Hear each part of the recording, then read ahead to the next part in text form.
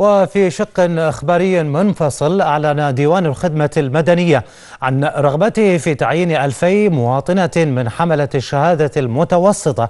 للعمل بوظيفة مرافق الطلبة في المدارس والباصات للمراحل التعليمية كافة